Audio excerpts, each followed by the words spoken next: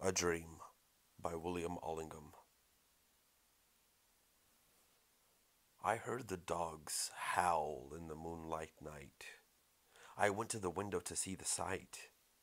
All the dead that ever I knew, going one by one and two by two.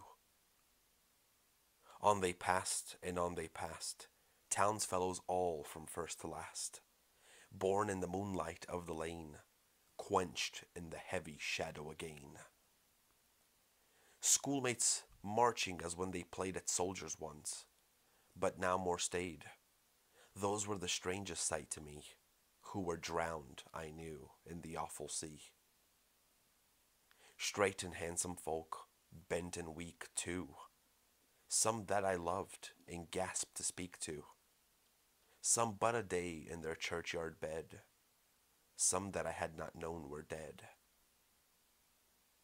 A long, long crowd, where each seemed lonely. Yet of them all there was one, only one, raised a head or looked my way. She lingered a moment, she might not stay. How long since I saw that fair, pale face, Ah, mother dear, might I only place my head on thy breast, a moment to rest, while thy hand on my tearful cheek were pressed. On, on, a moving bridge they made, across the moon stream, from shade to shade. Young and old, women and men, many long forgot, but remembered then.